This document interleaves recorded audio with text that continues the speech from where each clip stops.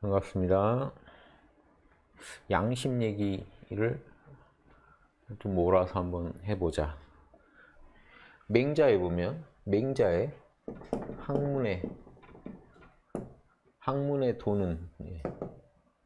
학문의 도는 뭐냐 하나밖에 없다. 음. 구방심이다. 이게, 이게 답니다. 학문의 도는 다른 게 없다. 구방심 이다. 음, 방심. 이게, 이게 뭘까요? 잃어버린 마음. 잃어버린 마음을 다시 찾는 거다. 잃어버린 마음을 다시 찾는 거다. 근데 이 잃어버린 마음이 뭐냐? 맹자가 말한 그 전에 뭔 얘기를 하다가 얘기해요. 본심. 맹자가 본심, 양심이라고 하는 겁니다. 본심. 이 나라 천부경에서도 본심이라고 하죠. 양심. 사람들은 닭을 잃어버리면 난리가 나는데 자기 본심, 양심 잃어버리고는 찾을 생각도 안 한다. 요 얘기하다 나온 얘기이기 때문에 학문의 도는 다를 게 없다. 잃어버린 그 마음, 양심만 다시 되찾으면 된다. 양심만, 불교식으로 말하면 무지와 아집에 빠져 있는 탐진치에 가려져 있는 보리심, 보리심만 다시 되찾으면 된다. 똑같은 거예요. 하나도 차이 날 게 없습니다. 보리심, 양심, 본심. 기독교식으로 얘기할까요? 성령. 이걸 성스러운 영이라고 하는 거예요. 다 하나입니다. 그래서 공부의 도는 성령, 기독교식으로 기독교, 성령을 온전히 부응하면 되는 거예요. 이게 지금 뭐예요?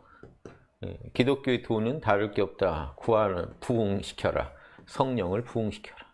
잃어버렸던 그 마음, 성령을 부응시켜라. 이 소리밖에 아니고 불교식으로 말하면 그 가려져 있는 그 마음, 보리심을 다시 되밟혀라.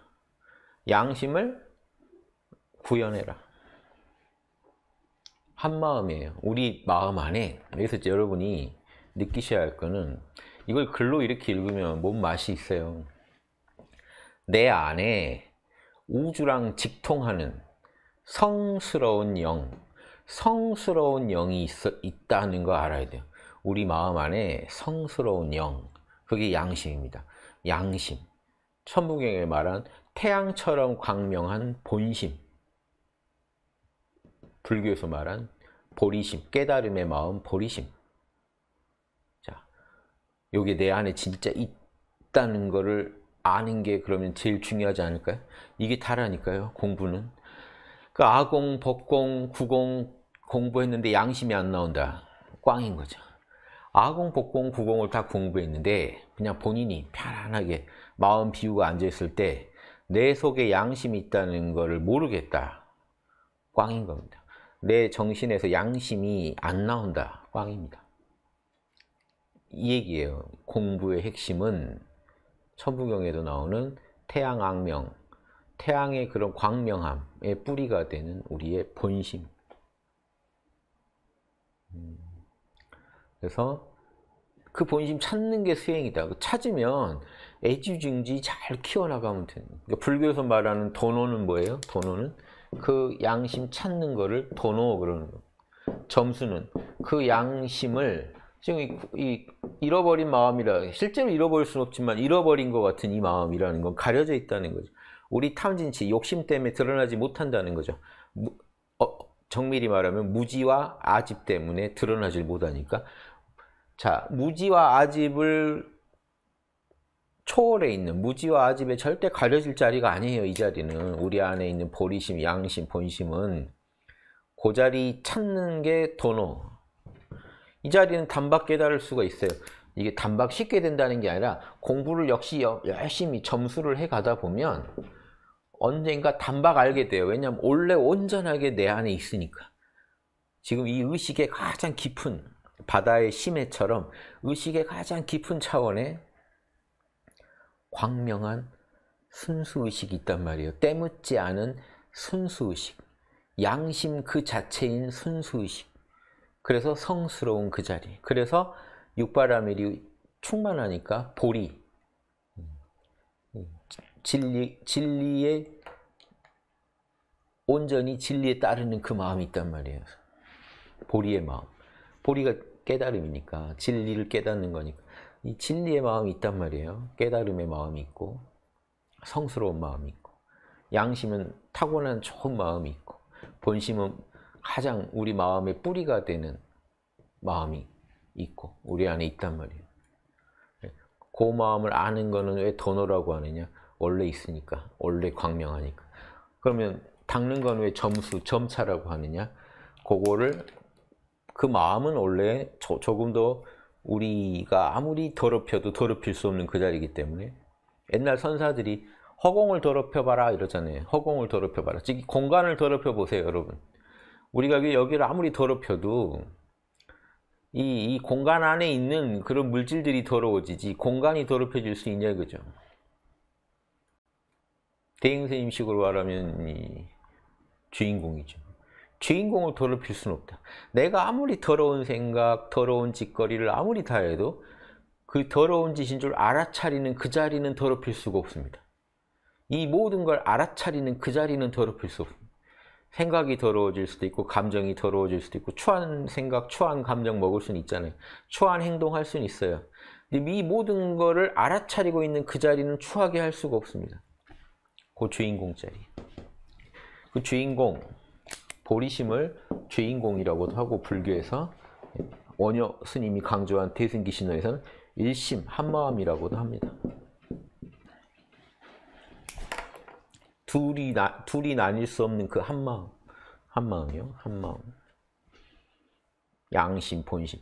이게 하나다는 거 마셔도 여러분, 제가 해드리는 작업이 있다 그랬죠. 모든 그 진리의 굴들을 제가 하나로 예, 통합해 드린다.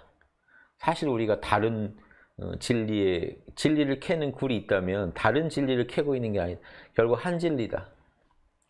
종교가 그 처음 입구에선 달라 보여도 들어가 보면 다 한 진리 캐는 거지 두 진리가 없다 우주에 마음이 사람 마음이 한 마음이지 두 마음이 없다 이겁니다 마음의 가장 본바탕이 둘일 수가 없다 순수 의식이라는 건요 에고마저 초월한 의식인데 거기 어떻게 둘이 있어요 거기 어떻게 종교가 들어설 수가 있어요 그 자리는 부처도 못 들어간다는 게 부처니 중생이니 하는 말도 못 들어가요 순수 의식일 뿐인데 공적영지라고 하잖아요. 텅 비어 있는데 알아차리는 그 자리.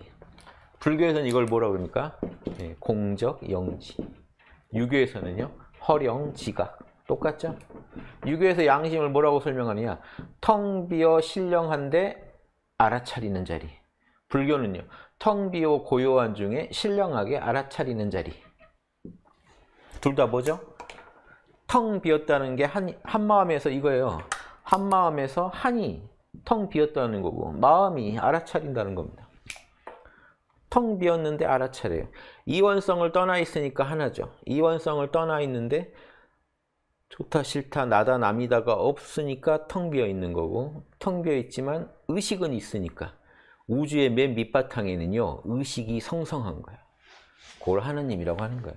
우리 안에서 발견하는 그 의식을 하느님 그러는 거예요. 하느님을 밖에서 찾는 분들은 영원히 찾을 수가 없습니다. 영원히 찾을 수가 없어요. 그럼 이 본심 찾으면 끝난 거 아니에요? 이 하느님 자리인데 왜 성령이라고 하죠? 하느님의 영이라는 거잖아요. 하느님 자리예요. 양심이 하느님이다. 보리심이 하느님이다. 오늘부터 명심하세요. 다른 거 찾는 거 아니에요. 양심이 하느님이다. 본심이 하느님이다. 보리심이 하느님이다. 내 내면에 있는 공적 영지. 공적은 이미 에고를 떠난 거예요. 거기 참나라고 공적 영지를 참나라고 하면 참나도 나 아니냐 하고 막 거품 무는데 에고에 빠져서 보니까 나라는 소리만 들어도 그렇게 흥분하는 거예요. 에고를 초월한 나예요. 이걸 모릅니다. 체험 안 하면 몰라요. 공적은 이미 공적이란 말에서 이미 에고를 초월했다. 난이 남인이를 초월했다. 그런데 신령하게 알아차리는데 저 신령하게 알아차린 인식 능력이 있기 때문에 그걸 마음이라고도 부르고 동시에 지각이라고도 부르고 동시에 나라고도 부르는 거예요. 나의 본체니까. 한 생각이 일어나기 전에 나. 부모가 날 낳기 전에 나. 부모 미생 전에 나. 부모 미생 공적 나 영지. 요거 이렇게 쉬운데 알면 아무것도 아니고. 근데 요 얘기도 해야겠네요. 또 하나님 갖고 또 싸우니까 하느님이 하나님이다. 싸우지 마시라. 이슬람 알라가 하느님이다. 이슬람 수피들, 이슬람의 수피들이 도달하는 그 신의식이 다른 의식이 있냐? 하나도 아니에요. 다 알라 그 자리에요. 이슬람 뭐 코란이나 교리가 마음에 안 드는 분들이라 하더라도 그 수피들이 돛 닦는 수피들은 똑같아요. 수피나 저기 수도사들이나 이쪽에 선사들 공부하는 거 보면 똑같아요. 똑같이 공부해서 한 의식을 채워요. 자기 내면에서 그 무아지경에 들어가서 무아지경, 공적 무아지경에 들어갔는데 그럼 존재가 없느냐? 있단 말이에요, 존재가. 그냥 텅 빔이 아니에요. 알아차리는 텅 빔이지. 그럼 그 자리를 뭐라고 해요? 스피들은 뭐라고 불러요, 그 자리를? 신이라고 부를 수밖에 없죠. 그럼 신이라는 그 용어가 뭐예요? 그쪽 동네에서는. 알라요. 그래서 하나라는 거예요. 그런데 이 알라를 에고들이 막 이제 알라는 어떤 존재고 우리만 사랑하고 막 에고들이 거기를 더럽힌단 말이에요. 그럼 더럽힐 수 있는 거는 생각이고 관념이고 개념이지 그 자리는 더럽힐 수 없기 때문에 본체는 하나라는 겁니다. 그 자리는 더럽힐 수 있는 게 아니기 때문에 우리가 그럼 여러분 내면에 그 자리 있나요? 제일 중요한 게 지금 내가 공부를 한다고 하는데 돌을 닦겠다, 공부를 하겠다, 뭐 영성 공부를 한다, 기독교를 한다, 불교를 한다, 유교를 한다, 뭐 뉴에이지를 한다, 다 똑같아요. 모든 공부는 다 하나예요. 정신 공부는. 정신 공부는 다 하나예요. 내면에 그 자리 있으십니까? 에고성을 초월했으니 자, 요걸 요즘 말로 해볼까요? 공적, 허령, 어, 공적, 허령, 한 이걸 뭐로 받을 수 있을까요? 요즘 말로 하면 공적이니 허령이니 하나니 그쵸? 예, 볼이니 본래니 예, 좋으니 성스러우니. 요즘 말로 하면요 순수. 그럼 마음 뒤에 붙은 마음은 다 의식이라는 거거든요. 이거 영이라는 것도 의식이라는 거예요. 마음, 지각, 영지. 다 똑같죠? 순수 의식 그럼 돼요. 순수 의식. 좀 강력하게 말하면 슈퍼 의식. 근데 지금 텅 비었다는 측면에서는 순수 의식이 더 쉽게 알아지겠죠? 순수 의식 순수의식, 여러분 의식의 가장 내면에 있는 인종도 상관없고 남녀노소, 종교도 귀천도 다 상관없는 어, 무식, 유식도 상관없는 순수의식이 있을 거 아니에요. 의식의 가장 핵, 나다 남이다도 없이 알아차리는 의식, 인지 능력을 갖고 있는 의식이 있단 말이에요. 요 놈은 시공을 초월해 있습니다. 음, 밖에 있는 게 아니에요. 나라는 나라는 생각 그 내면에 있었죠. 나라는 생각은 에고입니다. 그러니까 나하고 담이 나, 나 아, 남하고 다른 내가 있다는 생각은 에고인데 그 생각도 어디서 일어났냔 말이에요. 그 생각도 일어나고 사라지는 건데 어디서 일어났냐? 의식에서 일어나요. 그럼 그 의식이 순수 의식이고 그게 하나님이고 자 순수 의식 보리심 이걸 또 기독교에서는 이렇게 되겠죠. 성령은 I am 현존하는 나 스스로 현존하는 나. 누구에 의지하지도 않고 스스로 현존하는 나. 근데 I am 뒤에 나는 존재한단 말이지 다른 수식어가 붙지 않았기 때문에 길고 짧고 어, 크고 작고는 분별은 붙지 않은 즉 분별 없는 나, 영원한 나. 그게 영원한 나가 또 공적 영재예요. 텅 비지 않고 영원할 수가 없거든요. 텅 비어 있는 나, 순수한 나. 참나라고 하는 거예요. 참된 나. 이게 순수의식을 참나라고도 하는데 이걸 못 견딥니다. 참나. 참나가 뭔지도 모르고. 고정불변한 나 아닌가요? 고정불변한 그런 사람들이 말하는 건 고정불변의 에고예요. 고정불변의 에고가 어디 있어요? 생각, 감정, 오감이 무상한데. 부처님이 찾아보란 대로 육군 찾아보면 유, 그 무상하지 않은 게 하나도 없습니다. 이 무상하지 않은 게 하나도 없는 이 현상계에서 나를 찾으니까 참나가 있어요. 그 안에서 찾지 말라는 거죠, 부처님. 참나 귀한 줄 아는 참나가 사실은 참마음이에요.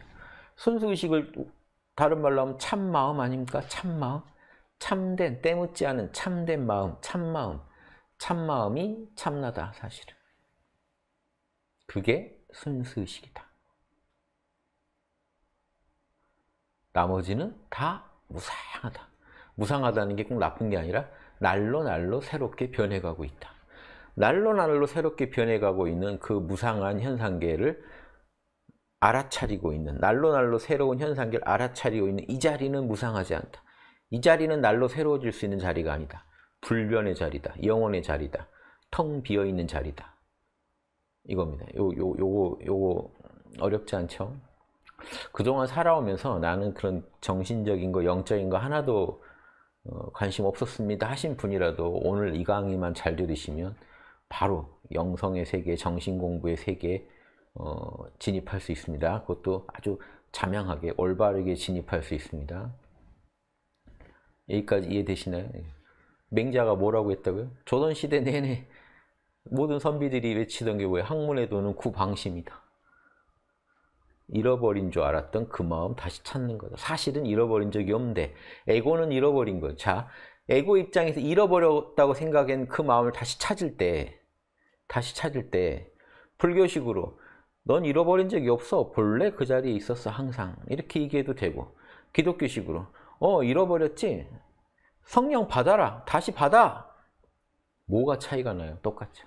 원래 있었어요. 왜? 성령이 없는 존재가 어디 있어요? 성령 없이 여러분이 살 수 있다고요? 그런 건방진 소리가 어디 있어요? 하느님의 영 없이 내가 말하고 행동하고 울고 웃고 할 수 있다고요? 성경적 진리에 어긋나는 소리인데요.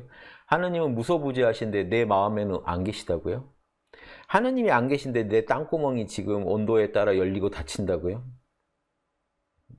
다 헛소리입니다. 하느님은 무소부지하시다. 안 계신 자리가 없습니다. 우리 마음 안에 또 임해 계십니다. 그 하나님의 의식, I am 의식이 우리 영혼의 밑바탕입니다. 그 자리에 아는 게 제일 급하잖아요. 그러니까 기독교는 무조건 성령 찾아야 돼요. 성령. 성령 모르면 기독교는 다 허당입니다. 성경을 아무리 잘 알고 공부하고 아, 진짜 황당한 교리가 지금 전 세계 기독교를 그 자주지하고 있던데요. 성령은 오순절 때나 역사하셨지 지금은 음, 성경 말씀만 따르면 된대요. 성령 성령 안 받아도 된다는 말도 있더라고요. 미쳤죠. 성령을 안 받고 예수님처럼 살 수 있다고? 성령을 받지 않고 하나님의 진리를 이해하고 실천할 수 있다고? 성경적 진리가 아닙니다. 성경은 예수님이 항상 성령 받아라 하셨고 예수님 말을 친히 들은 제자들한테도 뭐라고 했죠? 니네 성령 받기 전까진 돌아댕기지 마. 그리고 성령 받은 다음에는 뭘 할 거냐?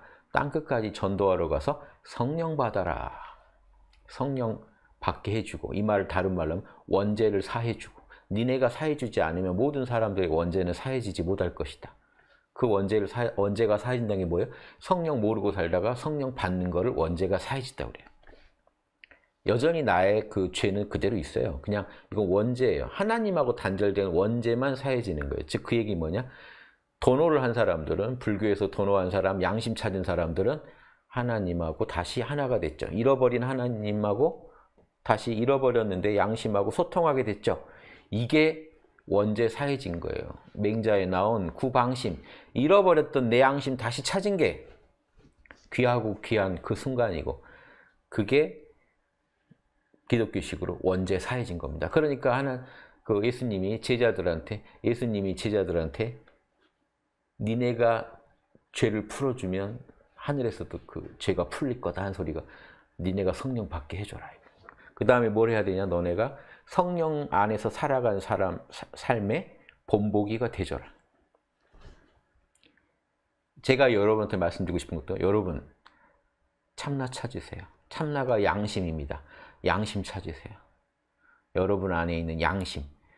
사랑과 남을 나처럼 사랑하고 정의, 남에게 죄 못 짓겠고 예절, 남한테 겸손한 조화를 이루며 지혜, 자명한 거를 자명하다고 찜찜한 건 찜찜하다고 하는 그 양심 찾으세요. 그 양심이 우리가 만드는 게 아니 인성교육이라고 양심을 만들어내는 게 아닙니다. 그런 인성교육은 다 엉터리예요. 그건 주입식으로 찍어내는 거예요. 양심도 찍어낸다고요. 그런 소리 못 들었습니다. 다 엉터리. 우리가 하늘한테서 받은 순수 의식이 양심인 거지 다른 양심이 없어요. 순수 의식을 만나지 않으면 여러분은 절대로 인성이 개발되지 않고 성령과 하나 된 삶을 살 수도 없고 보리심, 진리의 그 마음을 되찾아 가지고 부처가 보살이 될 수도 없습니다. 이 양심, 양심 안에 새겨져 있는 진리, 하나님의 형상, 하나님의 진리는 다른 거 아니에요. 사랑하라지. 하나님의 진리를 한마디로 말하면 한마디로 말하면 사랑하라예요. 성령이 진리의 영이거든요. 양심도 다 진리의 마음이거든요. 보리심도 진리의 마음이거든요. 그 안에 뭐가 들어있냐? 유교 양심에 뭐가 들어있죠? 양심 안에 이니에지가 들어있잖아요. 이니에지의 진리. 그럼 인이 뭔데요? 사랑하라. 의, 정의로워라. 예, 조화로워라. 지, 지혜로워라. 그럼 보리심 안에 뭐 들어있는데요? 포시, 사랑하라. 지게, 정의로워라. 인욕, 조화를 이루어라. 정진, 부지런해라. 선정, 깨어있어라. 지혜, 자명해라. 성령 안에 어떤 진리가 들어있을까요? 사랑과 정의죠. 사랑하라, 정의로워라. 그리고요. 지혜로워라. 뭐가 달라요? 뭐 겸손해라. 성실해라. 똑같아요. 사랑은 인내하고 인욕바람일. 그렇죠? 온유하고 따뜻함. 그렇죠? 불의를 미워하고 늘 지혜를 진리를 좋아하고 그 육바람을 꽉 찬 그 마음 그게 사랑이에요. 그게 뭐예요 사실은? 그게 성령이에요. 양심.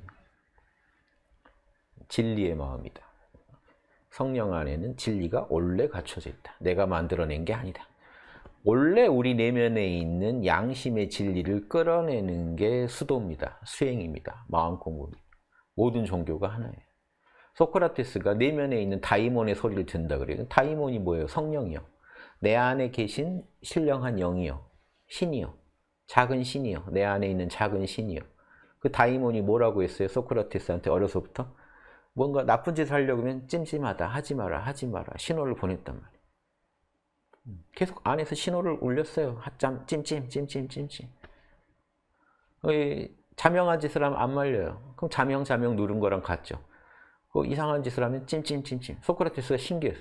이상한 짓만 하려고 하면 찜찜, 찜찜 울려. 그 기준이 뭔가? 그 이 기준이 이 신의 신아 이 신성의 기준이 신 안에 있는 잣대가 있을 거 아니에요. 신 안에 있는 잣대. 그게 뭐냐? 그 자명한 진리의 기준이 뭐냐? 뭐가 선이냐? 이게 선의 기준일 텐데. 그걸 평생 연구한 거예요. 내면에서 양심의 소리를 듣는 분이 자, 영성지능이 높다는 거는 어려서 양심의 소리, 자명찜찜의 신호가 잘 느껴지는 사람일 뿐이에요. 잘 느껴지다 보니까 왜 어떤 경우에 자명하다고 그러고 어떤 경우는 찜찜하다고 하냐? 같은 상황인데도 왜 또 다르게 말할 때도 있느냐?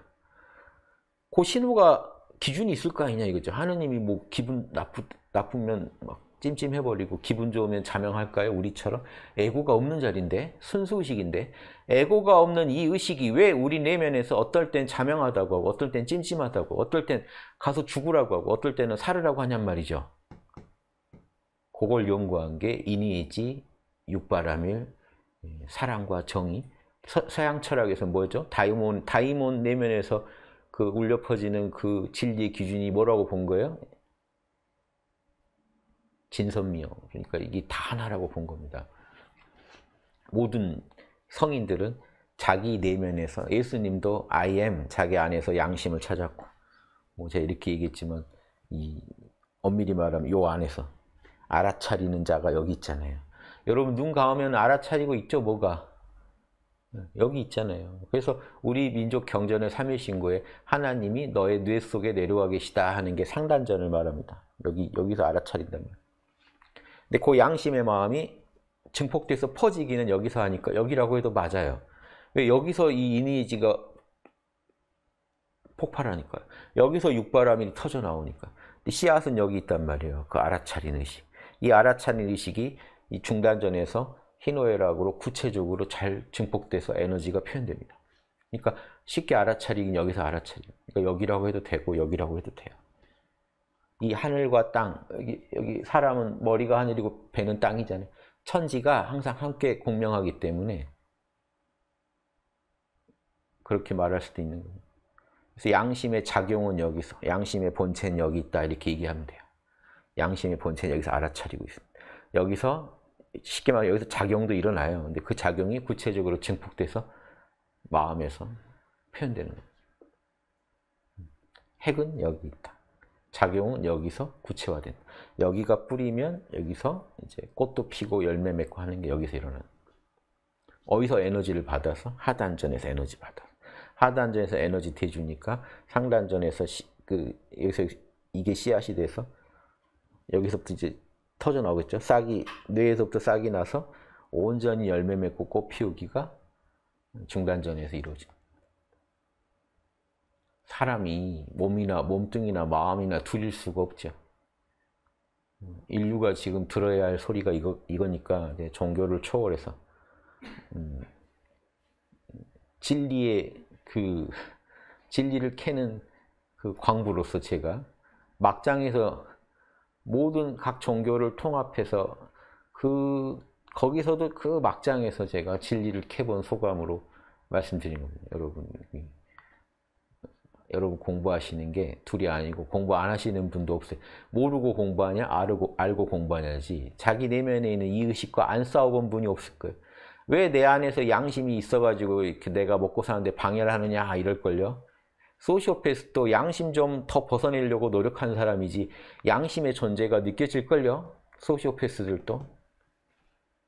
사이코패스도 타고나길 양심, 이 양심, 의 소리를 잘 못 듣는다고 해도 최소한의 소리는 듣는단 말이에요. 뭐 소시오패스는 자기 양심을 자꾸 몰아내는 사람이죠. 몰아내가지고 없진 않아요. 있는 줄 아니까. 양심에 찜찜한 거 계속 덮어서 마비시켜가지고 무덤덤해지게 만들려고 되게 노력한 사람들이죠. 반대로 양심의 소리가 아무리 작아도 자꾸 자꾸 들어가지고 또 듣고 또 듣고 해서 예민해진 사람들이 보살이고 군자고 하나님의 사도입니다. 이런 인류도 있으면 이런 인류도 있는 거잖아요. 저는 보살의 길을 인류의 올바른 길로 가장 고급진 길로 소개하는 것 뿐입니다. 답은 뭐냐? 양심에 있다. 양심만 잘하면 된다. 학문의 돈은 다른 게 하나도 없다. 잃어버린 너의 본심, 양심 다시 회복하면 된다. 양심 구현이 답이다. 양심이 살아나야 공부가 되고 있는 거다. 지금 공부를 했는데 여러분 양심이 안 살아나고 있다면 공부가 잘못되고 있다. 홍익학당 신사만 되셔도 참나를 만나셨다면 참나를 만나셨다면 그 참나는 양심 덩어리인데 당장은 내 무지와 아집 때문에 내 탐진치 때문에 내 욕심 때문에 양심이 덜 드러날지 몰라도 양심의 핵심은 찾은 거예요. 기뻐하셔야 돼요. 이 양심을 잘 배양시키기 위해서 여러분한테 자 양심의 애를 낳았다면 지금 원래 온전한 양심이지만 원래 퍼펙트하지만 내 안에서는 다시 태어난 거잖아요. 성령이 내 안에 임하셨다면 양심이 다시 태어났다면 다시 싹을 냈다면 어떻게 해야 돼요? 잘 키워야죠. 키우는 매뉴얼이 있어야죠. 그 매뉴얼로 제가 14조를 제시하는 겁니다. 14조. 14조 매뉴얼로. 여러분 내면에 있는 양심 키우는 법. 여러분 내면에 있는 양심 키우는 법. 양심을 어떻게 키워요? 이렇게 키워야죠. 아공, 법공, 구공의 진리로 육바라밀의 진리로 즉 어떻게 키워요? 양심 안에 원래 내재되어 있는 진리를 우리가 우리 에고가 적극적으로 수용하고 따라줌으로써 그 육바라밀을 같이 실천함으로써 참나를 거들어서 거두는 거예요. 거들어서 실천함으로써 우리 안에 있는 양심은 무럭무럭 자라게 됩니다. 원래 퍼펙트하지만 우리 마음에서는 자라는 것처럼 그런 현상이 나타납니다. 우리 레벨은 자꾸자꾸 올라가게 됩니다. 영적 성숙이 점점 점점 깊어져 갑니다. 원래 퍼펙트하지만 시공을 초월한 양심은 순수 의식은 손댈 데가 없지만 우리 내면에서는 이 양심은 싹이 난 것밖에 안 되기 때문에 우리 에고, 에고를 변화시키는 측면에서는 에고를 통해 결국 양심은 발현돼야 되니까 성령은요 결국 하나님이 아무리 광명해도 성령의 진리를 이해하지 못하고 수용하지 못하는데 무지랑 아집 때문에 무지 때문에 이해를 못하고 아집 때문에 수용을 못하면 내 안에서는 아무리 좋은 시도 지금 싹을 못 내는 거예요 내 안에서. 척박한 땅을 만난 거니까 내 마음 땅에서 진리가 온전히 구현되는 게 예수님이 서원하셨던 거죠. 기도하셨던 거죠. 하늘에서와 같이 순수의식이 하늘이에요. 순수의식에서는 이미 진리가 온전합니다. 하늘에서 같이 땅에서도 그 땅은 내 마음 땅이에요. 내 마음 땅에서 하늘에서 같이 아버지의 뜻이 이루어지기를 예수님이 소원하셨죠. 즉 이미 온전하지만 날마다 날마다 더 이루어져야 하는 겁니다. 땅에서는 이미 온전하지만 더너 이미 온전한 줄 아는 게 더너요. 나날이 이 땅의 세계에서 마음의 땅에서 키워가는 게 점수입니다. 양심 육아 매뉴얼이죠. 실천지침 14조가. 홍인간 14조가.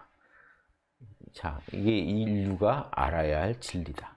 인류가 몇 천 년간 영적인 세계를 탐구하고 정신 공부를 하고 철학 공부를 하고 종교를 팠는데 결론은 이거밖에 없더라. 여러분 시간 절약하시는 거예요. 공부. 이거밖에 없습니다. 공부는 이거밖에 없어요. 다른 거 없어요. 티베트 불교가 대승 불교 센데 거기 가보세요. 거기 매뉴얼들. 보리도 차제론, 보리도 등론, 뭐 해탈 장업론, 수습 차제론 다 뭔데요? 보리심. 원래 우리 내면에 있는 절대적 보리심, 진리의 마음, 시공을 초월한 이 진리의 마음을 절대적 보리심을 상대적 보리심, 이 마음의 땅, 현상계에서, 육도의 세계에서, 탐진치의 세계에서 갖고 가면서 구현시켜 가는 것 뿐입니다. 그 구현시키는 레벨을 1지부터 10지, 또 자량이, 가행이, 견도이, 그 수도이, 구경이 해가지고 뭐 오이 체계로 설명하는 것 뿐입니다. 칭이 성화 영화 뭔데요? 칭이 성령 받았네. 성령 받았으면 이미 예수님 같아야 되잖아요. 칭이 이래도 안 돼요 아직. 이제 이제 싹이나 난 거예요. 그럼 뭐 해야 돼요? 그럼 성화 진리로 키워야 돼요. 하나님의 진리 말씀을 따르면서 예수님의 말씀을 따르면서 진리의 말씀을 따르면서 사랑과 정의로 양심의 진리로 키워가야 돼요. 그러다 영화 빛나는 존재가 되는 거고 그것도 부족해요. 영화는 부활체 얻었다, 영생의 몸 얻었다 밖에 안 되고 몸이 중요한가요? 마음이 중요하지. 결국 예수님처럼 온전해지기 위해서는 완덕의 경지까지 또 카톨릭에서 말하는 10단계, 사랑의 10단계의 레벨업을 해가야 돼요. 다 똑같은 소리만 하고 있잖아요. 제가 만든 게 아닙니다. 다, 다 증거 있어요. 유교도, 유교도 군자부터 현인, 군자, 현인, 성인 크게 나누면 군자, 현인, 성인 맹자는 요 위에다 신인도 더 붙였어요. 신인, 신령한 사람. 자, 이런 레벨들 올라가는 게 뭔데요? 잃어버린 양심 얼마나 잘 찾았나 정도밖에 더 되겠어요. 원래 온전한 양심이 우리 안에 있다. 이 얘기를 자꾸 제가 왜 하느냐. 지금 여러분 내면에 양심의 싹이 난 것 같습니까? 순수의식이 양심인 줄 알겠습니까? 그러니까 학당에서 신사 드릴 때 참나만 각성했다고 드리잖아요. 참나 각성하고 14조의 가르침을 숙지하시라고 하고 서원하시라고 하고 이게 불교식으로 원보리심이거든요. 보리심을 발언하는 거예요. 양심을 구현하겠다고 발언하는 게 원보리심이에요. 그리고 행하는 거죠. 행보리심. 참나 만났으면 싹은 난 거예요. 신사, 홍익학당이 신사만 되면 싹은 난 거예요. 내 안에 순수의식이 있다는 건 안 거예요. 그리고 그 의식이 잘못 배양하면 양심인 줄 모르고 아공, 아라한들, 법공, 견성도인들은요. 양심인 줄 온전히 모릅니다. 양심인 줄은 알죠. 그런데 양심을 어떻게 배양하는지 모르니까 딱 그 자기 수준에 서밖에 양심을 못 펼쳐요. 양심을 더 개발하지 못합니다. 그러니까 양심 개발하라는 거 14조의 진리 요거까지 겸해서 말씀드려야 저희가 신사를 드려요. 이제 믿을 만한 선비다. 진리를 확신한 선비다 해가지고 신사 드리는 정토로도 들어서셨습니다.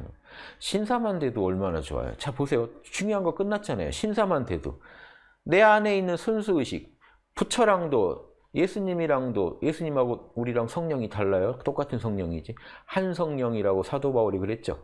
한 성령, 한 보리심, 한 불성인데 부처랑 불교에서 한 불성이지 두 불성인가요? 유교에서 양심이 하나지 둘이에요. 구현을 얼마나 해내느냐죠. 그걸로 군자, 현인, 성인이 나뉘고 챙이, 성화, 영화가 나뉘고 나뉘는 것 뿐이에요. 불교의 오이 체계가 나뉘고 재밌죠. 진리를 확신한 선비만 되셔도 보세요. 내가 원하면 순수의식 참나 만날 수 있죠. 하느님 만날 수 있다는 거예요. 내가 원하면 하느님 만날 수 있고 하느님이 나한테 살으라고 한 10계명 말고 더 자명한 14계명이라면 14계명이고 14진리. 요건 다른 계명이에요. 기존 계명은 뭐 하라 하지 말아요. 이거는요. 하라 하지 마라가 포인트가 아닙니다. 양심의 진리는 이러니까 너가 뭔가 판단할 때 요 진리에 입각해서 판단하라요. 너가 판단해서 하라요. 양심의 진리는 하나님 안에 새겨져 있는 진리는 이러니까 이 진리의 근거에서 너가 옳은지 그른지 너 역량껏 상황껏 판단해서 하라예요. 기존의 십계명은요. 뭘 하지 마라. 불교의 온갖 계율들은요. 술 먹지 마라. 바로 결론으로 가죠. 바로 결론에 집중해요. 뭐 하지 마라. 뭐 하지 마라. 새로 신약에 해당되는 복음적 율법이라는 게 있죠. 신약에서 말하는 즉 성령의 진리요. 그게 지금 이겁니다. 14조입니다. 그게 육바라밀이고 이니에지입니다. 이거 육바라밀 그냥 더 자세히 써놓은 것 뿐이에요. 육바라밀 이니에지밖에 안 돼요. 이게 뭔데요 그러면? 육바라밀 이니에지 즉 사랑과 정의에 입각해서 너가 스스로 판단해서 영양껏 상황껏 술을 마실지 말지 결정해서 하랍니다. 이게 신약의 시대고 구약은요. 결과를 통제합니다. 하라, 하지 마라, 하라, 하지 마라. 신약은요. 내면을 통제합니다. 성령 받았냐? 성령이 시키는 대로 하라. 이게 근본적 차이입니다. 동양에서 말하는 그게 구약과 신약이죠. 이게 동양에서 오면 뭔지 아세요? 소승과 대승이. 소승은 계율로 통제합니다. 대승은요. 보리심 따라서 육바라밀대로 하라는 것. 근데 지금 대승불교에서 보살계 받는다 그래요. 그 보살계 읽어보시면요. 지금 상황에 맞지 않는 것들이 많아요. 소승적 율법을 또 보살계라고 해서 받고 있어요. 그거 받아서 여러분 양심이 싹 틀 것 같으세요? 여러분 무조건 양심부터 싹 트게 한 다음에 성령 받아라 한 다음에 한 다음에 보리심 깨달아라 한 다음에 양심 깨달아라 한 다음에 이니에지, 이니에지대로 사는 법이 양심이 좋아할 거다. 좋아하는지 안 좋아하는지 확인해봐라. 그게 보살심이다. 보살계 지금 뭐 그 5개, 뭐죠? 10중계, 10개 중계랑 48경계 읽어보세요. 제 양심이 동의하지 않아요. 그 계율들이 동의하지 않는 게 많아요. 제가 보살이 아니라서 그럴 수도 있죠. 참고하세요. 그런 묵은 계율로 인간의 행위를 통제해가지고 그 법입니까? 법밖에 안 돼요. 법이라는 건 행위만 통제해요. 그러면 그, 그 법망만 피하면 괜찮은 거예요. 법망만 피하면 양심에 부끄러운 줄 몰라요. 양심에 부끄러워서 못하게 만드는 게 그게 신약시대요. 그게 대승입니다. 계율로 잡아가지고 지키는 건 어, 인류가 유치할 때 하는 거예요. 유치할 때 하는 게 어렸을 때 사리 판단 못하니까 해 하지 마 결과를 통제해야 됩니다. 인간이 미성숙하면 결과를 통제해야 돼요. 그 사람을 돕기 위해서 어쩔 수 없이. 그 시대의 기율을 강조하는 종교는 지금도 기율을 강조하는 종교가 있다면 그 시대에 머물러 있는 거예요. 아직 자 동양으로 말하면 후천 시대로 못 나간 거예요. 선천 시대에 묶여 있는 거예요. 후천 시대, 대승 시대, 신약의 시대는 즉 개벽의 시대는 요즘 물병자리 시대라고 하는 그런 시대는 양심에 따라서 자기 양심에 충실하게 성령에 충실하게 살아가는 거예요. 그게 자기 양심이지만 자기 양심이 아니에요. 왜? 나와 남을 초월한 순수의식에서 나온 명령이기 때문에 하느님의 명령이고 공적인 명령이지 내 것이 아니에요. 참나가 내 것이 아니에요. 우주적 나를 지금 참나라고 하는 거예요. 우주도 한 의식이니까 나라고 불러주는 거지. 내 에고의 뿌리니까 나라고 부르지 에고는 아니란 말이에요. 그러니까, 그러니까 공정한 소리를 한단 말이에요. 우리 내면에서. 그게 양심이고 보리심이고 성령이고 한마음이고 주인공이 이게 주인공만 주인공 믿고 맡기고 살아가라. 이 소리에 다 끝난 거예요. 양심에 믿고 맡기며 살아가십시오. 성령에 믿고 맡기며 살아가십시오. 어떤 일을 하건 보리심에 믿고 맡기고 살아가십시오. 계율, 계율만 따르십시오. 이 말이 안 나온다고요. 계율만 따르다는 건 지금 유치한 신앙이니까, 가르침이니까 성숙한 존재는 너 양심 있잖아. 제가 이렇게 얘기해 드려야 진짜 아니에요? 저 어떻게 살아야 될까요? 이거 하지 마시고, 요거 하지 마시고, 요거 하시고, 하시고, 요거 하지 마시고. 벌점, 상벌, 상벌. 이렇게만 하세요. 양심 개발될까요? 아니요. 상 받아서 좋고 벌 받아서 안 좋다는 호리 피해의 마음만 개발돼요. 욕심만 개발돼요. 이대로 개발되면 잘못하면 소시오패스 나옵니다. 그런데 어떻게 할까요? 양심에 따져봐서 양심이 있으시잖아요. 양심에 부끄러움 하지 마시고 양심에 당당함 하세요. 요게 신약의 시대고 후천 시대고 이게 개벽된 세상에서 살아가는 모습입니다. 이게 진정한 대승이라고요. 그런데 대승이라고 해서 보살계에서 막 그 계율 58개 주면 안 받은 것보다는 좀 더 양심각성에 도움되는지 모르겠지만 진짜 양심각성은 그런 게 아니다. 바로 견성하게 해줘야지. 견성해라 하는 게 양심각성이에요. 성령 받아라 하는 게 양심각성이에요. 유교 선비들이 왜 늘 정신을 하나로 모아서 내면에 들어가서 허령지각, 순수 의식을 찾으려고 했을까요? 거기서 이니지가 나오니까요. 안 그러면 내가 이니지를 만들어낸다니까요. 내가 율법을 막 만들어낸다니까요. 율법을 가지고 내 욕심을 포장하고 있다니까요. 무지와 아집을 율법과 조화를 시키고 있다니까요. 모르니까. 그러니까 그건 그 잘못 잘못된 건 맞지만 어쩔 수 없는 거예요. 왜냐? 에고가 탐진치의 존재인데 에고더러 에고더러 율법을 지키라고 하면 탐진치가 율법을 지키려면 어떻게 해야 돼요? 흉내내고 포장하고 잘못된 거 있으면 남이 볼까 가리고 보기 좋은 거는요 인증샷 찍어서 올리고 인스타에 올리고 추한 건 가리고 율법 잘 지키는 사람처럼 보이게 만들고 이거밖에 뭘 더해요. 에고한테 맡겨놨으니까 일어난 일이잖아요. 본심을 찾게 못 도와줬으니까. 자, 다 지도자 탓이다.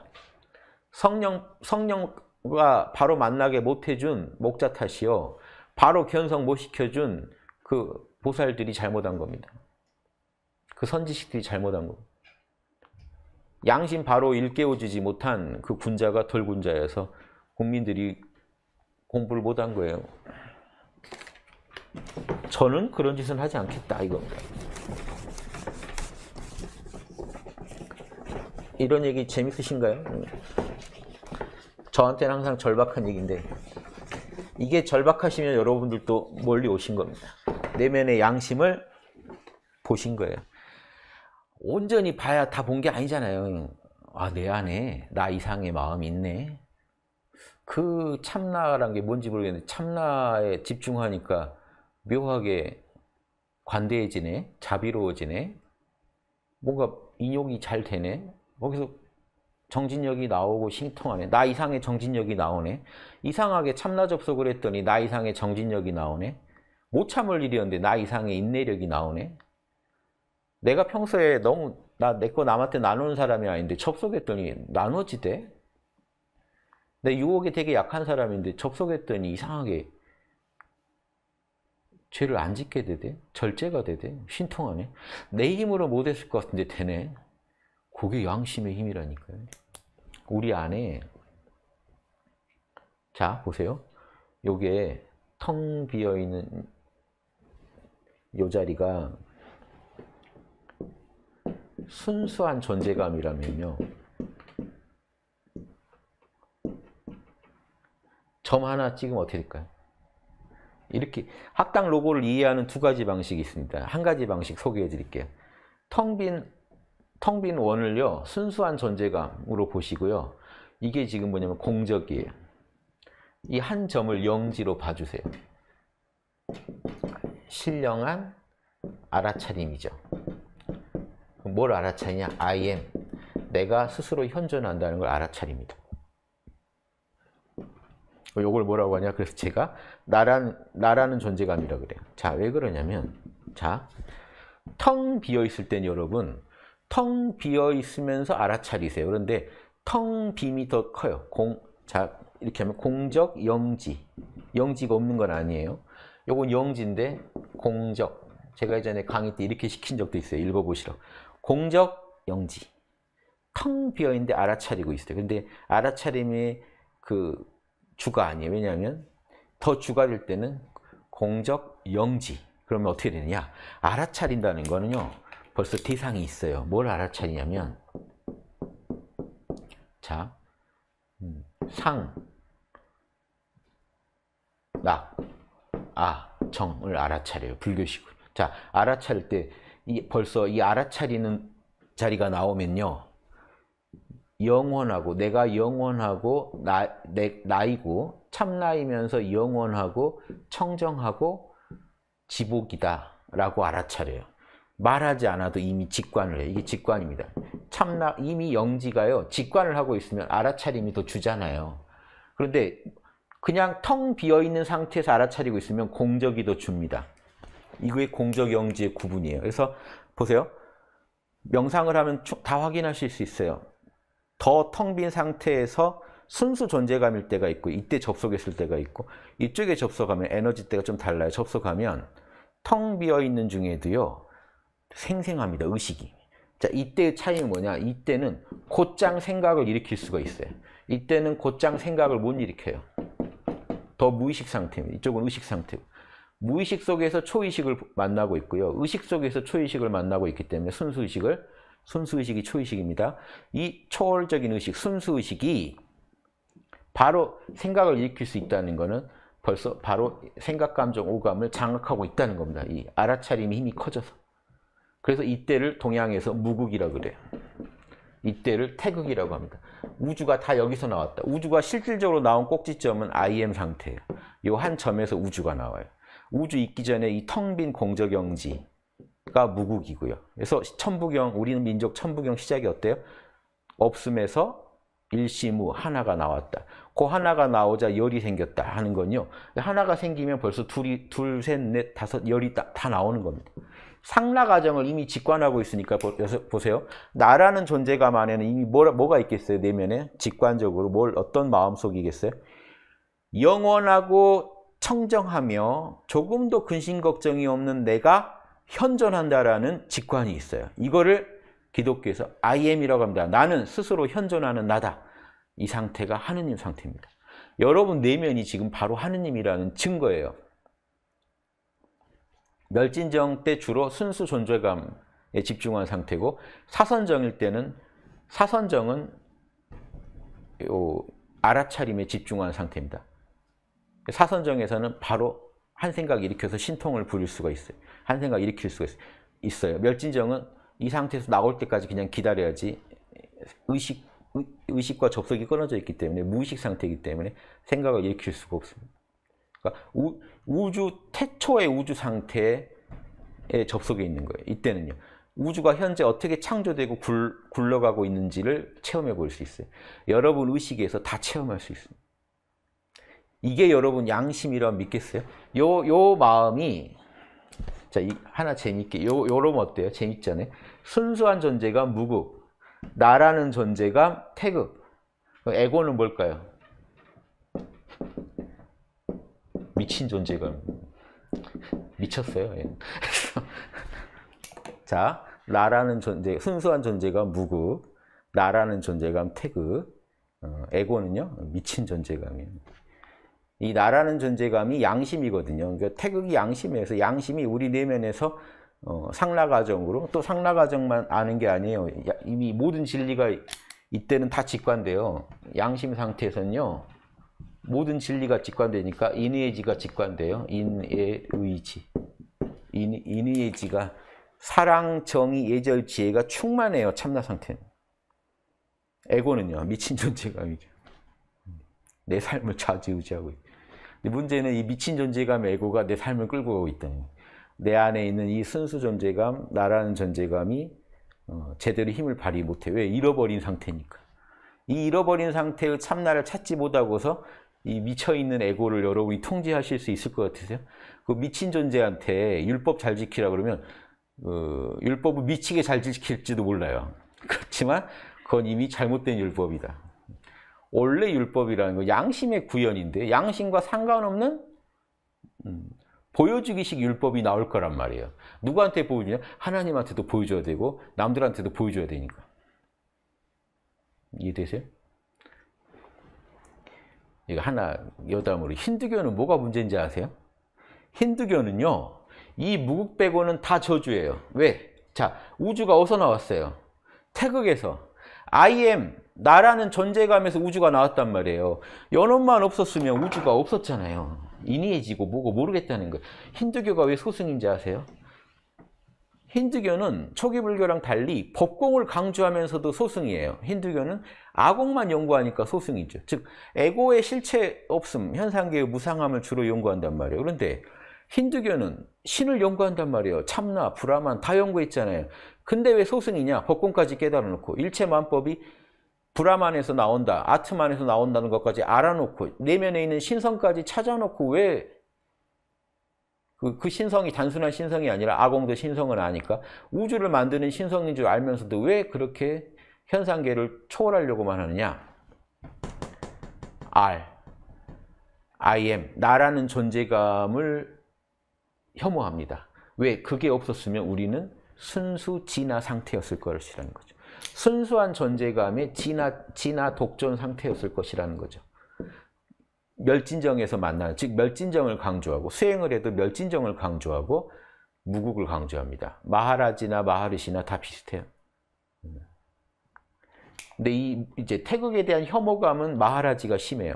마하라지는 IM을 아주 혐오합니다. 이게 모든 일의 원흉이다. 이놈만 없었으면. 마하르시는 이것도 사실은 하나님이다.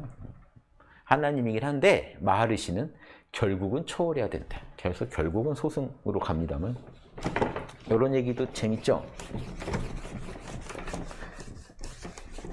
모든 인류를 대상으로 합니다. 어떤 종교를 가지셨든 오늘 오늘 인류 지구의 영성을 한번 좀 끌어올려 보죠. 지구의 영성을 한번 끌어올려 보죠. 자, 근데 이 동그라미를 이렇게 쓸 수도 있어요. 이거를 어, 우리가 이제 에고로 쓸 수도 있습니다. 에고로. 미친 존재감 에고. 자, 여기는 I am 참나. 참나는 지금 이제 순수한 존재감, 나라한 존재감을 함께 표현한 겁니다. 참나. 자, 그럼 이 참나 안에 뭐가 들어있겠어요? 참나를 좀 이 점을 이렇게 확장해서 그려보면 이거 아닐까요? 한 점이 지금 아까는 오행으로 그려봤으니까 이번엔 육바라밀로 그려볼까요? 사랑, 보시, 지계, 인욕, 정계, 선정, 지혜의 진리를 품고 있지 않을까요? 보리심이라. 보리심은 보리를 품고 있어서 보리심이에요. 그래서 이 보리심의 다른 이름이 이거 보리심이요. 이렇게 이해하시면 더 쉬울걸요. 법신이라고도 불립니다. 그럼 법신이 뭐죠? 진리의 몸이죠. 그럼 진리를 갖추고 있으니까 진리의 몸 아니에요? 이 진리의 영이 뭐죠? 성령이잖아요. 똑같아요. 진리를 품고 있어야 성스러운 영이고 법신이요 보리심입니다. 뭘 무슨 진리를 품고 있을까요? 대승기 신론에 나와요. 대승기 신론에 나와요. 우리 이 한마음 안에 어떤 진리의 성품이 있는지 육바라밀의 법성이 있어요. 육바라밀의 법성이 있어서 에고의 세계에 마음을 펼쳐낼 때 어떻게 내요? 육바라밀의 마음을 펼칩니다. 그럼 보세요.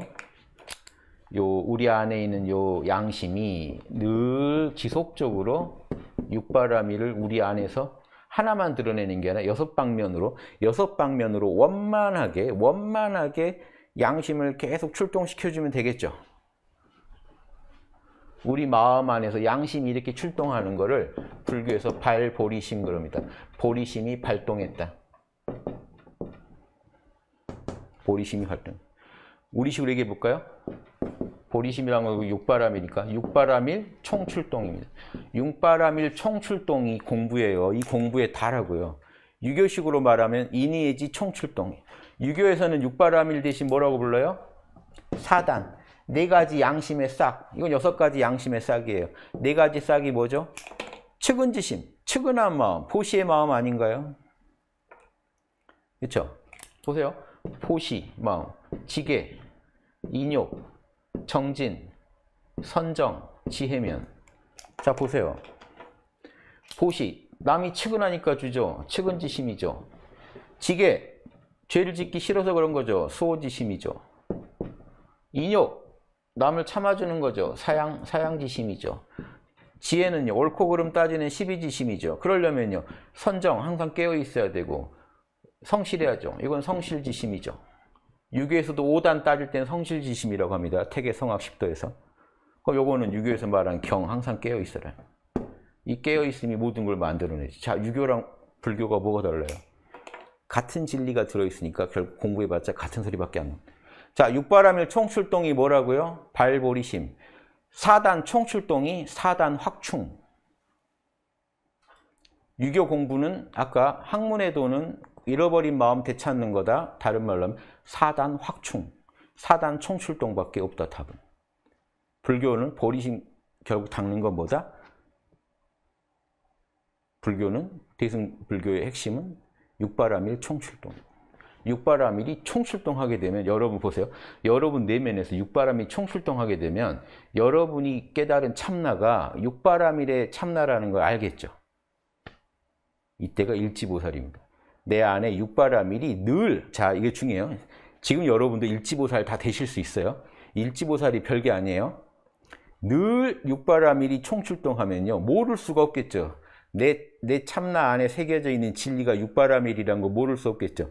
이렇게, 이렇게 육바라밀의 진리에 안주하는 양반을 일지보살이라고 하고요. 자, 보세요. 내 안에 뭐가 들어있는지 모르겠어요. 진리가 들어있는지 모르겠는데 일단 영은 깨닫겠죠. 공적 영지에 영은 깨달은 양반들이 있겠죠. 참나에는 확실히 안주한 양반. 그러면 아공도인이나 법공도인들도 참나에는 안주하겠죠. 법공도인은 화두 터진 견성도인하고요. 아공도인은 아라한들이요. 이 양반들도 이 참나에는 안주해 있어요. 그렇죠? 아공은 열반 안주라고 하겠죠. 열반. 그 열반이라고도 부르고 참나라고도 부르겠지만 열반 참나, 단순히 참나가 아니라 이 참나의 의미, 참나란 말은 좋은데 참나의 의미를요, 양심을 폐지하고 육바라밀을 폐지하고 참나라고만 하면 지금 요 정도 안주밖에 안 되는데 일지의 안주는 구공도인은요, 이 공안에 육바라밀이 갖춰져 있는 거 알아서 갖출 구자 구공입니다. 어.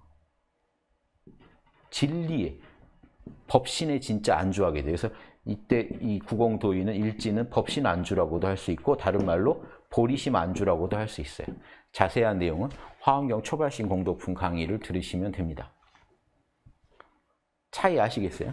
자, 아라한이나 힌두교 저기 성자들, 마하르시, 마하라지 같은 성자들, 그리고 힌두교 도인들, 그리고 화두 터진 견성 도인들, 확철대 도인들은요, 자나깨나 참나 열반 자리가 의식에 흐릅니다.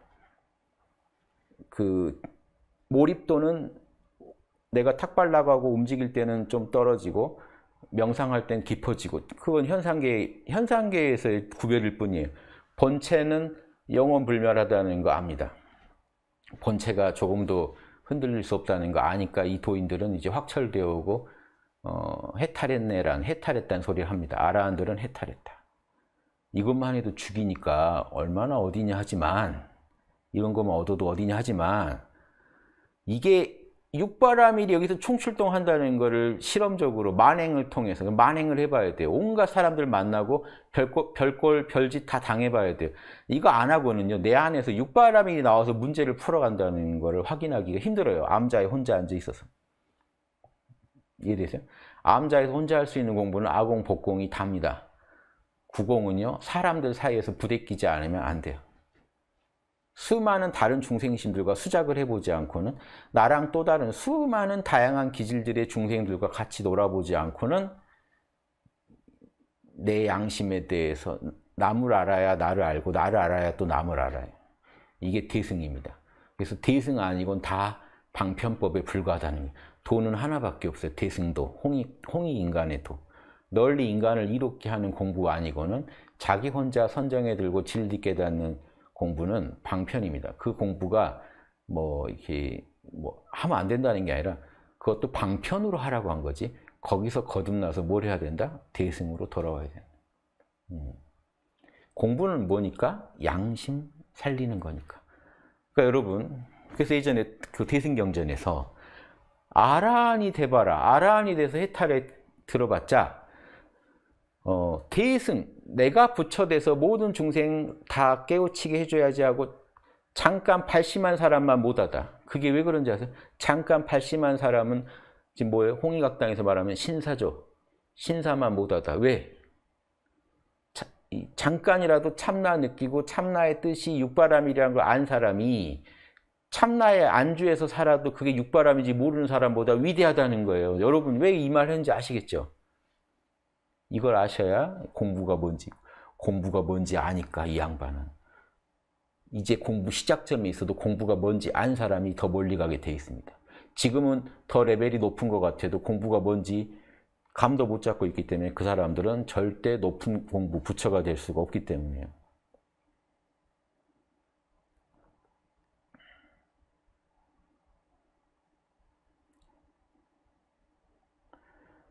그래서 여러분 어떤 경우건 여러분 결과에 너무 집중하지 마세요. 지금 하늘이 여러분한테 바라는 거는 성령을 따르냐예요. 양심을 구현하느냐예요. 당장 내가 결과적으로 내 에고 입장에서 완벽한 답이 나와야 만족스러우실지 모르겠지만 여러분 제가 항상 얘기하죠. 결과가 아니라 과정이 답이다. 과정이 과정이 양심에 접속해가지고 양심 안에 있는 육바라밀의 진리, 14조의 진리를 인가하면서 요 진리대로 문제를 풀어나가면서 하늘한테 맡기는 사람이 접속인가 맡김으로 살아가는 사람이 이 우주를 구원한다. 그 사람이 한 나라를 구원하고 한 가정을 구원하고 일신을 구원할 겁니다. 접속인가 맡김으로 양심과 수작하는 사람들. 아시겠죠? 양심과 수작. 이 과정이 답이다. 이거 주목하세요. 일일 일생입니다. 하루 한 생으로 생각하고 내 역량껏 내 상황 속에서 기본에 충실하시기만 하면 돼요. 이게 사실은 더 결과를 통제하는 겁니다. 육바라밀을 내가 진심으로 지켜버리고 양심과 함께 하느님과 함께 수작해버리면 결과가 나쁠 수가 없어요. 그런데 당장 결과를 멋지게 늘려다가는 양심을 소홀히 하다가는요. 인간은 끝없이 육도를 돌고 탐진치 속에서 헤매는 어둠 속에서 헤매는 중생의 삶밖에 안 된다.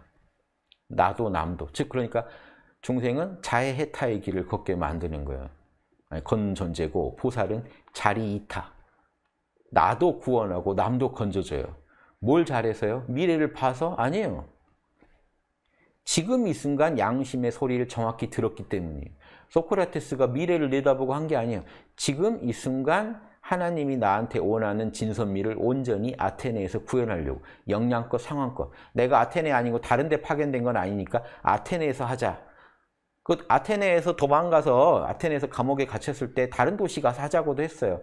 근데 내가 하나님한테 명령받기를 아테네에서 하라고 그랬네. 안 갑니다. 내 역량껏 상황껏 하늘과 수작했을 뿐이에요. 그러면 인류가 2000년 넘게 소크라테스의 혜택을 입습니다. 예수님도요. 성령이 하란 대로 했을 뿐이에요. 난내 뜻대로 살지 않았다. 성령이 하란 대로 살았다. 결과를 완전히 맡기고 사시잖아요. 결과에 대해서 조급해하지 않아요.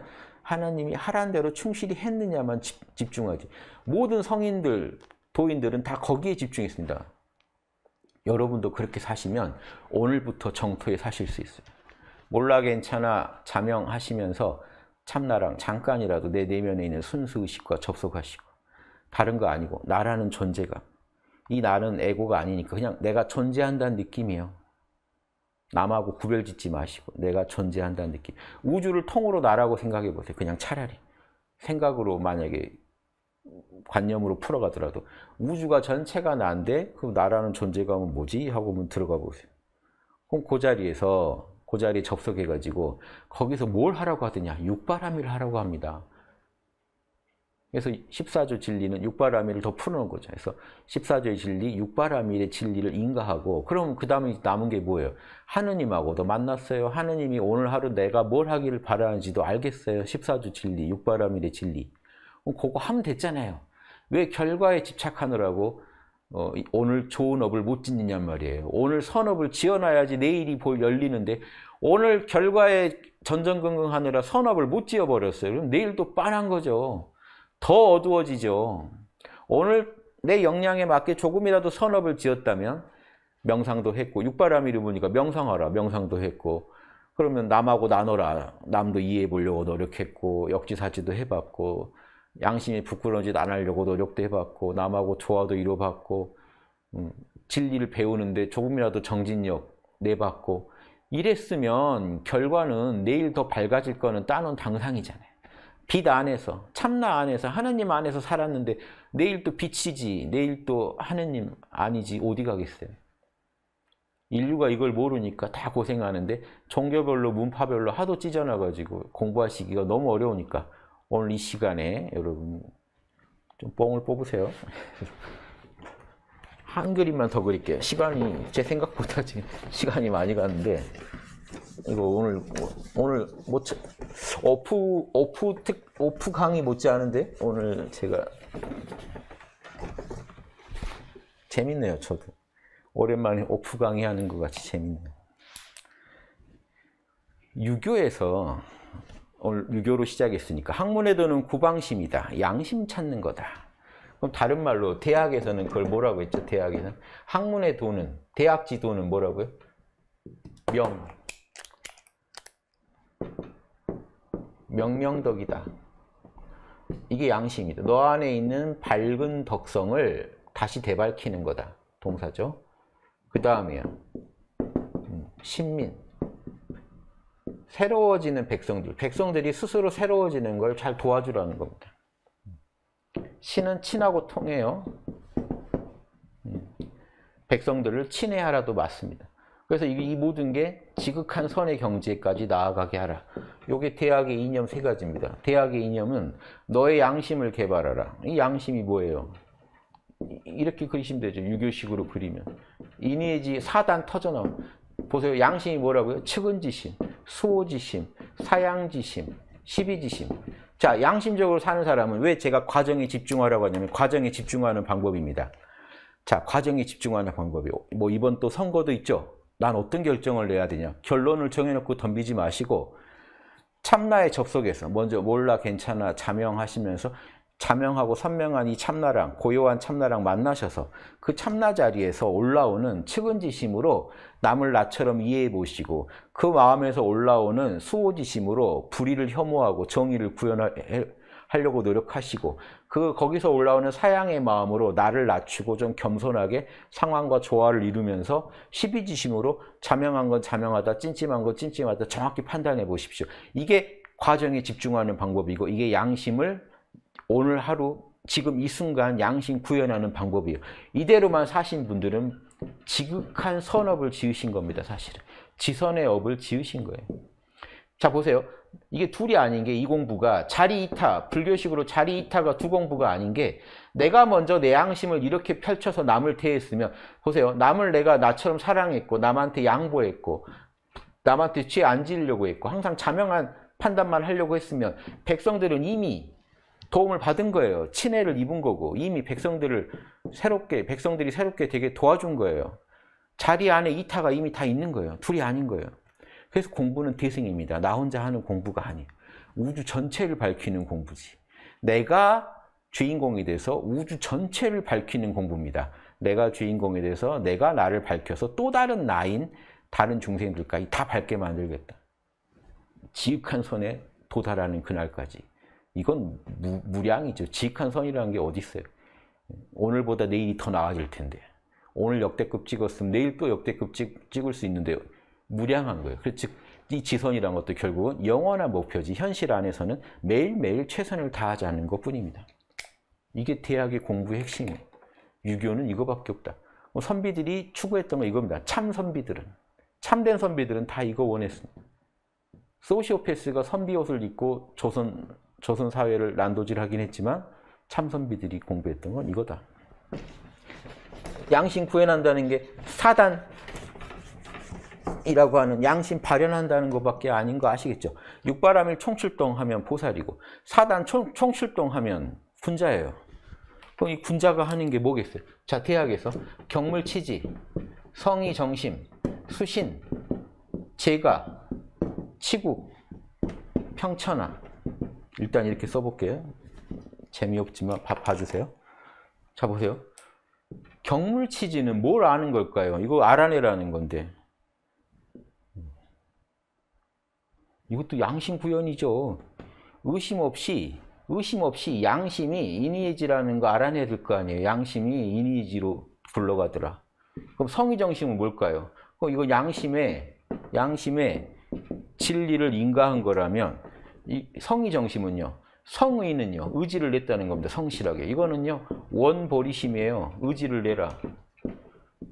내 보리심이 내 양심이 이렇게 생겨먹었다 사단으로 생겨먹었다는 거 알았으면 사단을 간절히 원해야 될 거 아니에요 그게 성읍니다 간절하게 이쁜 여자 좋아하듯이 좀 해라 대학에 아주 리얼하게 써요 그리고 사단 아닌 거 그 악을 미워하기를 악취 미워하듯이 해라 여러분 악취 아무리 좋아해도 악취 나면 잠깐 놀래죠 그렇죠 그래서 그것처럼 아이쿠 하고 놀래라.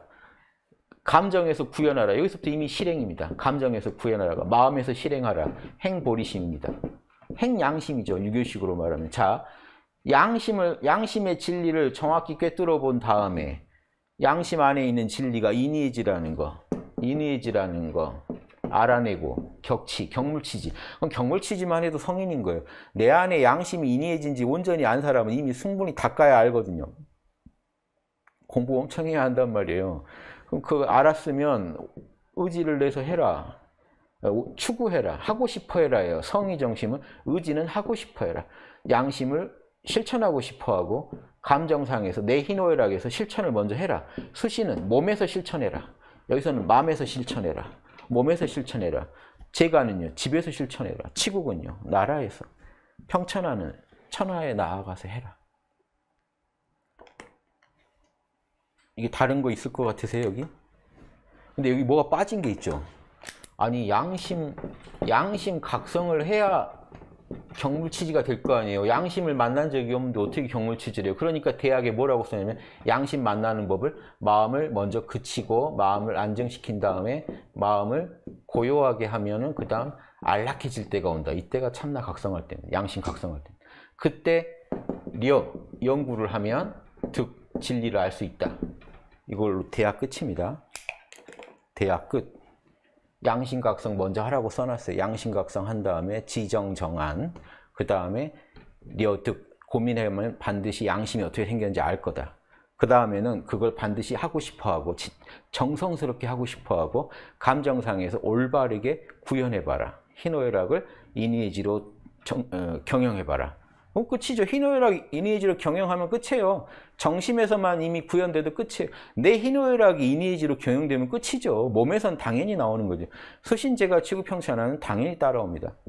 그러니까 여러분 만행이라는 게 또 뭐 남 사람들과 부대껴야 된다니까 아, 또 사람인들 찾아가야겠다는데 초점이 있는 게 아니라 사람들하고 부딪히면서 다양한 사람들과 다양한 상황, 사람들 아니라도 일처리 모든 것에 부딪히면서 내 희노애락이 요동하는 걸 보면서 계속 양심으로 경영해 나가는 거예요.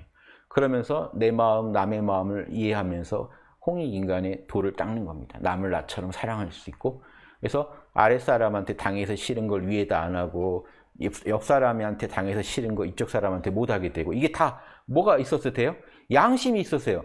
양심 없으면 이 전체가 꽝이에요.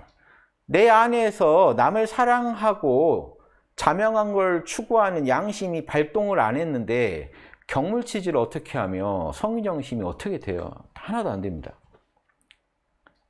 성령 받지 않고 사도가 안 되고 견성 못하고 보살 못 되듯이 양심 각성 못하면 군자 못 됩니다. 그래서 조선시대에 수많은 사람들이 유교에 도전했지만 양심 각성한 일부만 군자의 경지에 들어간 거예요. 이해되세요? 이렇게 하면은 저는 또 걱정이 돼요. 이렇게 장황하게 설명하면 걱정돼서 제 못 참고 다시 몰아드릴게요. 이것만 기억하세요. 여러분 앞으로 공부는 이렇게 합시다. 이걸로 결론 낼까요?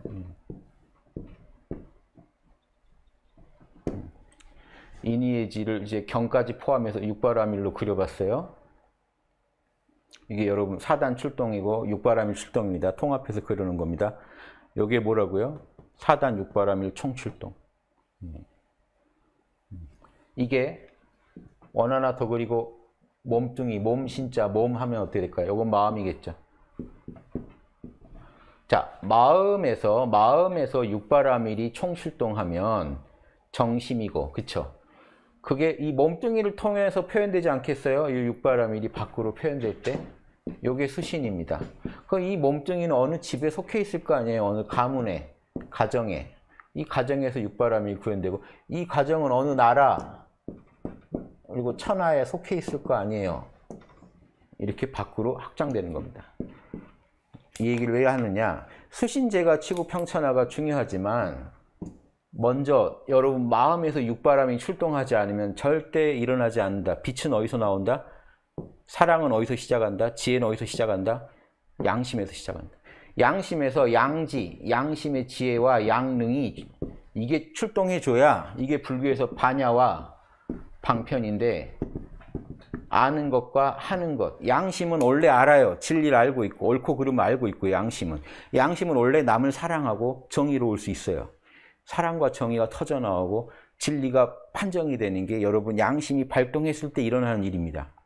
그걸 돕는 게 거두는 게 양심 성찰일 뿐이에요. 수신제가 지구평차나 여러분 영양권 요걸 어떻게 하라고요? 일일일생 하루가 한 생이라는 마음으로 항상 기본기에 충실하시면서 영양껏 상황껏 하세요. 누가 하나 그림 그려두고 싶어 지금 기본기에 최선을 다합시다. 이런 거 착 그려서 벽에 붙여두고 싶네요. 어떠세요? 군자도 이게 군자도인데 어려우세요? 군자도, 사도의 도, 보살도, 보리도 이게 다를까요? 다 하나입니다. 내 양심이 어떻게 생겼는지 정확하게 아는 게 모든 공부의 시작이다. 경물치지는 그거다. 그래서 마지막으로 제가요, 어, 태계 선생이 성악십도에 그려놓은 그 우리 태계 선생께서 성악십도에 그려놓은 마음의 마음의 그림을 그려드릴게요. 양심이 어떻게 생겼는지 어떻게 그리셨는지. 요게 조선 선비들의 모든 결론입니다. 자, 마음이라고 써놓고요. 예. 허, 령, 지, 각 이래 놨어요. 마음은 이 마음이라는 건 뭐예요? 양심이에요. 우리의 가장 마음의 본체는 텅 비어 신령하되 알아차리고 있다. 항상. 유교, 유교 선비들이 생각한 마음부터가 벌써 우리가 생각하는 마음이랑 다르죠? 텅 비어 있고 신령하면서 항상 알아차리고 있는 자리가 유교 선비들이 생각한 마음입니다. 그 다음에 본성 이렇게 써놨어요. 본성은 어떻게 생긴 거냐? 인, 예, 의, 지. 자, 십자가죠. 자, 유교가 생각하는 이, 이 마음이라는 걸 결국 기독교에서 말하는 영인데 이 영은요 진리, 인의의 제 진리, 본성을 품은 영입니다. 이게 성령이 아니라고요. 로마서에서 사도 바울이 그래요. 하나님은 모든 인류에게 자신의 모습을 드러내고 계신다. 그래서 그래서 율법을 받지 않았다 하더라도 이방인이라 하더라도 하나님이 양심에 어긋난 짓을 하면 벌하시는 거다. 즉 하나님은 양심이 어떻게 생겼는지 모든 인류에게 이미 가르쳐 주셨다. 율법 율법이 내리기 전에도 로마서 초, 초반에 다 써 있습니다. 그 하나님이 동양의 유교 선비들한테도 양심이 어떻게 생겼는지 성령이 어떻게 생겼는지 복음적 율법, 사랑의 진리가 뭔지 다 가르쳐 줬습니다. 그리스 철학자들한테도 가르쳐 줬어요. 인도 도인들한테도 가르쳐 줬어요. 고살들한테도 가르쳐 줬어요. 율법이 나오기 전에도 이미 가르쳐 줬고. 그래서 이 양심에 어긋난 짓을 하면 하나님이 바로 벌을 하시는 거예요. 저 율법 못 받았는데요. 뭐가 선이고 악인지 나는 이미 너희한테 다 알게 했노라 하니까 벌을 할 수 있는 거예요. 안 가르쳐 주고 벌을 하는 건 하나님이 잘못한 거예요. 룰도 안 가르쳐 주고 벌을 하면 안 되죠. 다 알만하게 해놨다. 로마서에 나옵니다. 자, 이게 이걸로 이제 총정리. 요거를 정확히 실험을 통해 알아내시면 일지보살이다.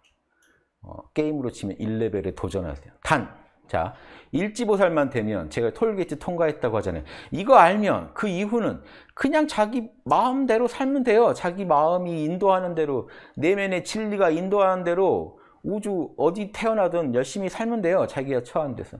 그래서 화엄경 초발시 공덕품의 일지보살 이상의 보살은 우주 어디든 파견 가서도 어디 가서도 육바라밀의 진리로 중생 구제할 생각밖에 안 한다. 자, 그럼 일지는 이미 칠지가 칠지를 따놓은 당상이라는 얘기죠. 일지는 찰나 칠지라는 얘기입니다. 찰나 찰나 성인 못지 않아요. 그럼 반대로요. 홍익학당 신사는 이미 찰나 일지해야 되지 않나요? 자, 이미 참나 알았는데 참나가 원래 육바람일 덩어리라는 거 제가 얘기해 드렸죠. 신사 될 때 누누이 말씀드렸죠, 여러분들. 멘토들한테 또 배웠죠. 그러면 이미 여러분 알고 계시니까 알고 이, 이 무식을 면하고 참나를 만나니까 참나만 만나도 이게 육바람일 덩어리인 줄 아주 모르진 않겠죠. 그리고 이제 알려줘, 알려드린, 제가 알려드린 방법대로 참나 만났을 때마다 내가 관대해지는 거, 내가 좀 더 남을 측은해 하는 거, 남, 좀 더 정의감이 생기는 거, 좀 더 인내력이 느는 거, 조금 더 자명해지는 거. 이거 확인하시면 내 안에 양심 있네? 내 안에 진리의 마음이 있네? 아실 수도 있겠죠. 자, 여러분은 이미 신사만 되셔도 뭐라고요? 찰나 일지다. 일지는 찰나 칠지다. 이렇게 공부하시면 어떻겠어요? 이렇게까지 했는데 못, 못 하신다 그러면 제가 힘들어져. 오늘은 강의만 한 시간 더 했네요. 아쉬워서 오늘은 저기 6시까지 톡톡 하겠습니다. 강의는 여기까지 마칠게. 여러분, 긴 시간 강의 경청해 주셔서 감사합니다.